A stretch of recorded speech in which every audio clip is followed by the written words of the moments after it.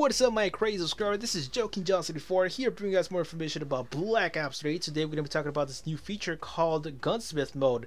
Now this new feature, the Gunsmith Mode, will allow you to customize your weapon completely and fully. What do I mean by this? you will actually be allowed to have six attachments on your weapon. This is super insane because your weapon can now be OP as hell. I mean, you can add your foregrip, the stock attachments, the fast grip, and you know an optic, and you should be fine. With all those freaking attachments, you're gonna have the most accurate weapon out there, so you can't never miss a shot from long range. This is super insane. Unless you're using an SMG, then for sure you're gonna miss some shots here and there. But at the same time, that weapon's gonna be OPSL because you're gonna have range, you're gonna have rapid fire and everything. You know, it's gonna be super insane. So having six attachments is actually a step forward into creating your own weapon in uh, the Call of Duty game.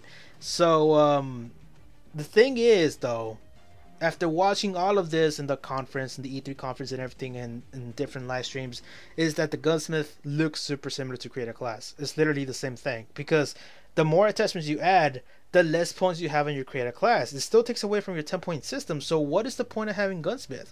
I'm pretty sure the point was that didn't have enough space to show all the attachments. So instead of like having a bunch of freaking blocks in the create a class, they just made a new whole window like Fred because it's just so many attachments for one weapon, which is the truth. Like what the hell have six attachments? It's, gonna be super crazy.